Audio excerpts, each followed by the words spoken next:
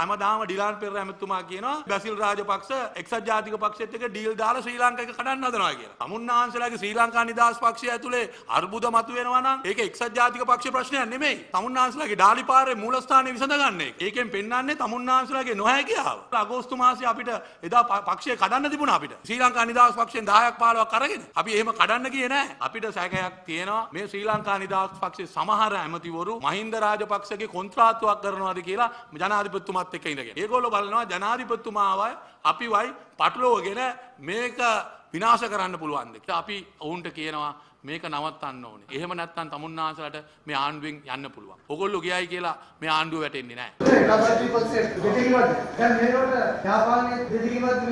යාපාලනයේ එම දෙදරීමක් නෑ. යහපාලනයේ ජනාධිපතිතුමායි අගමැතිතුමායි අතර හොඳ අවබෝධයක් තියෙනවා. නමුත් සමහර ශ්‍රී ලංකා නිදහස් පක්ෂ ඇමතිවරු මාධ්‍ය සාකච්ඡා කියලා අනවශ්‍ය විදියට එක්සත් ජාතික පක්ෂය